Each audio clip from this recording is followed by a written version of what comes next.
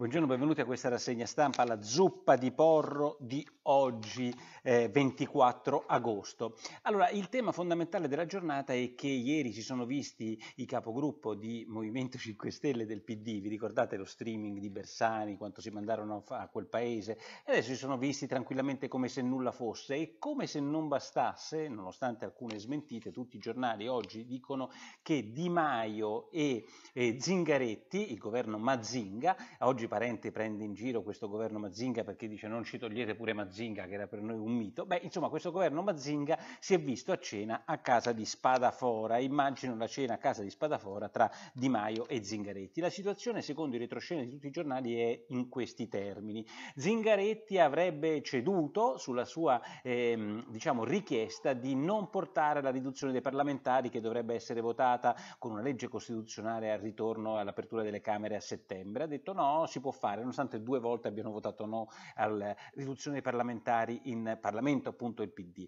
Dall'altra parte però Conte eh, diventa eh, la pietra dello scandalo, perché Di Maio vorrebbe che il prossimo governo fosse guidato da Conte, un Conte bis, e Zingaretti dice beh questo non lo possiamo sopportare, anche se su questa vicenda, nota qualcuno oggi, ad esempio Minzolini sul giornale, beh, insomma una parte del partito aveva già detto di sì, e cioè Renzi ha detto va bene anche un, conti, un Conte bis. Vespa, che è uno che se ne intende di queste vicende, dice ma insomma è ancora difficile capire se questo governo, sul quotidiano nazionale, Vespa dice è ancora difficile capire se questo governo si farà. Quello che è certo è che eh, probabilmente dovremo capire eh, poi come si mettono d'accordo su tante cose molto più specifiche e molto più concrete, non Conte Conte, non Conte, che è l'unica forse concreta, quei dieci punti fumosi del Movimento 5 Stelle, insomma, come la penseranno sull'Europa, sul su Putin, sull'America, sulla TAV, sull'IVA, sul reddito di cittadinanza, su tutte le cose, sul decreto sicurezza, che è un altro tema che evidentemente è molto caldo. E Sallusti oggi nel suo fondo del giornale non ha dubbi, questo è il governo del non fare, devo dire che è abbastanza convincente, perché una cosa certa questo governo, oggi in un'intervista della Scani mi sembra che lo chiarisca, Scani è una delle renziane insomma intelligenti in questo momento, e dice l'unica cosa che ci unisce, sapete qual è?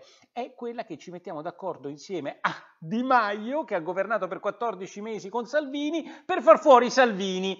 Nel frattempo i giornali ricordano come Salvini, e c'è un'intervista di Centinaio che afferma e che avvalora questa tesi, in realtà avrebbe offerto a Di Maio di fare il Presidente del Consiglio, con lui Vicepresidente del Consiglio unico, insomma Salvini è ritornato indietro, anche se poi tra poco vedremo cosa ne pensa il foglio. Scusatemi, lo capisco che è un gran casino, ma questa crisi è un gran casino, io non faccio altro che riportare quello che dicono i giornali. Una cosa però è chiara, se ci sarà, e io non l'avevo capita fino in fondo e quindi ve la trasmetto così come l'ho capita e me l'ha spiegata bene Minzoli in una pagina intera del giornale, che è un grande conoscitore, come Vespa, della vecchia Repubblica e dei, delle trattative sotto banco.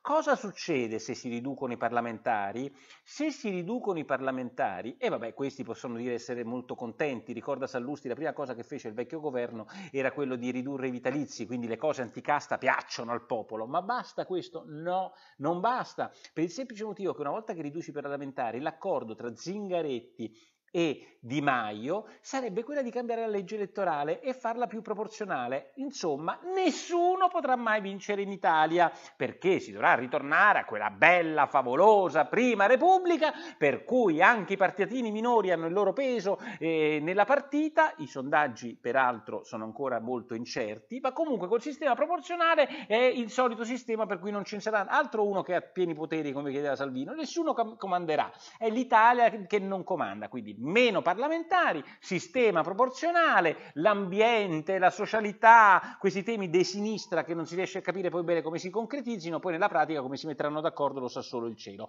L'avvenire, il giornale catto comunista per eccellenza, il vero manifesto dei giorni d'oggi, che cosa dice? Passi programmati, insomma, positivo sugli accordi che avrebbero raggiunto, cioè l'avvenire, come spesso fanno i giornali di parte, confonde forse i propri desideri con la realtà, dice i passi sono tantissimi che hanno fatto ieri Di Maio e Zingaretti, c'è da dire che l'idea solo che si vedano a cena Di Maio e Zingaretti per pensare a un governo sei mesi fa sarebbe stato anni luce, ma il vero sasso nello stagno politico che vedrete avrà un peso è l'Economist, voi direte ma che te frega dell'Economist? Beh insomma però ha un certo peso, il settimanale economico più venduto al mondo, rappresenta un certo mondo, un certo potere, un certo establishment. E voi che cosa pensate dal giornale liberale per eccellenza, anglosassone per eccellenza, che dica si vada a votare, c'è un sistema elettorale, si voti, il popolo vota? No! No, l'Economist fa un editoriale folle, esce il venerdì l'Economist, quindi è uscito ieri, l'editoriale folle dell'Economist che è da prenderli veramente e capire come questi fam- famosi autorevoli giornali, poi alla fine sono giornali come tutti gli altri, con le loro idee politiche molto orientate, dice no, conviene fare un accordo nel Movimento 5 Stelle PD. E sapete perché? E ve lo dico perché eh, il, eh, con più tempo al governo forse il Movimento 5 Stelle può dimostrare di saper governare. Questo è quello che dice l'Economist. Dice non si deve votare, se no è un casino per l'economia italiana, è un casino per l'Europa. Insomma, se si vota in Italia è un disastro, quindi meglio fare un cazzo cazzo di governo, dice l'Economist, tra Movimento 5 Stelle e PD. Adesso a me va tutto bene, ma quelli dell'Economist hanno seguito la questione dell'alta velocità? I liberali dell'Economist hanno seguito la questione del reddito di cittadinanza? I liberali dell'Economist sono d'accordo sulle imposizioni, le burocrazie, l'atteggiamento sul lavoro di questo governo? No, probabilmente no, non le hanno seguite, però a loro quello che loro interessa è il native, il, il, il tremendo Salvini che dobbiamo distruggere. Insomma, l'Economist è perfettamente in linea con la Scani e con tutti quelli che pensano pensano che pur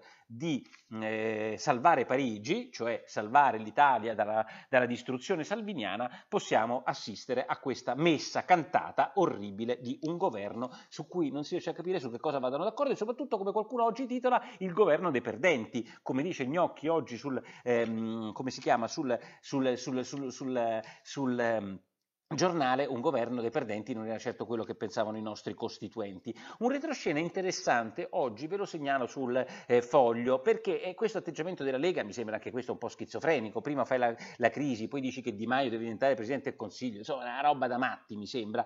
Però il retroscena del foglio, che cita Centinaio, che dice però altro in un'intervista diciamo non coperta, è il seguente, sentitelo bene, dice il foglio, la Lega sta offrendo di tutto di più a Di Maio e al governo eh, nuovo con 5 Stelle e Lega, in modo tale che le pretese di Di Maio nei confronti del PD siano talmente elevate che il treno deragli. Avete capito? Insomma, il gio- gioco sottile, ma secondo me pericolosissimo e anche difficilmente comprensibile dell'opinione pubblica, come ci hai litigato, hai finalmente rotto il governo, adesso lo ricorteggi? Sì, lo ricorteggio perché ricorteggiandolo cosa succede? Quello pretenderà di più dall'altra corteggiante, cioè il PD, e salta tutto il banco. Boh, mi sembra un gioco rischioso, ma comunque è un retroscena interessante. Nel frattempo il PD, che dovrebbe essere alleato del, del Movimento 5 Stelle, litigano dandosi cazzotti come se fossero in un ring del testaccio, ma degli anni 80, 1880. E Renzi ieri si fa sfuggire in una clip, lo notano tutti i giornali, gli insulti a Gentilone perché dice Gentiloni, che era il suo ministro degli esteri, by the way, insomma Gentiloni è quello che voleva far saltare l'accordo col Movimento 5 Stelle. Adesso che Renzi si arrabbi col suo ex ministro e poi nominato Presidente del Consiglio perché sarebbe quello che vuole far, far saltare l'accordo col Movimento 5 Stelle che lui stesso fino a poco tempo fa odiava e trattava a pesci in faccia, a me fa sorridere, ma soprattutto fa sorridere il fatto che questo sia il il, il, sapore delle trattative in questo momento. E sul libero Becchi, e viene anche considerato così, mi sembra, dalla, da, da, dalla, il filosofo Becchi, Grillino, Movimento 5 Stelle, poi dopo è diventato amico di Grillo, poi è diventato amico dei leghisti, dice guarda a Feltri, guarda non è detto che il doppio forno, cioè l'alleanza eh, Lega 5 Stelle sia del tutto morta, eh, può sempre eh, rispuntare, quindi darebbe peso alle, alla teoria non complottista ma del momento di Salvini che starebbe trattando veramente per fare un altro governo con loro. Comunque l'ostacolo vero a questo governo in questo momento è che Di Maio vuole Conte con un Conte bis e Zingaretti direbbe questo almeno questo no, concedetelo, non lo vogliamo. Mentre sta avvenendo tutto sto casino, in realtà continua il Toto Premier. Giovannini sale e io trovo fantastico come il fatto rubrica il Toto Premier, cioè la fuffa più fuffa di tutte, l'inchiesta. l'inchiesta del fatto è che Giovannini sale, Grasso arriverebbe alla giustizia, che non sarebbe neanche male perché è uno dei magistrati più equilibrati che ci sono, male nell'economia, ma come magistrato Grasso oggi in Leu non è così male, Fiano ministro degli interni. Questo è, è diciamo il toto nomine di oggi. Ehm, Devo dire la verità, ognuno, e questa la chiama inchiesta, ogni, ogni, giorno ce n'è una diversa. Due ultime, tre ultime cose, oltre alla crisi vivamo e altro, ve le segnalo, il titolo del tempo di oggi che si ricorda che ci sono stati tre governi scandalosi su una questione amatrice tre anni fa e non hanno fatto assolutamente nulla. Quel poco che è stato fatto, dice Bechis, è stato fatto dai privati. Renzi, Gentiloni e Conte, tante chiacchiere, molto distintivo e nulla per i terremotati. Conviene ricordarlo. De Vito, ve lo ricordate, l'abbiamo difeso in queste zone Zuppe, presidente grillino del Consiglio Comunale di Roma, arrestato buttato in galera, anche se Grillino non c'è motivo però di non essere garantisti anche con lui e noi lo fummo in questa zuppa, oggi la Cassazione dice si tratta molto più di congetture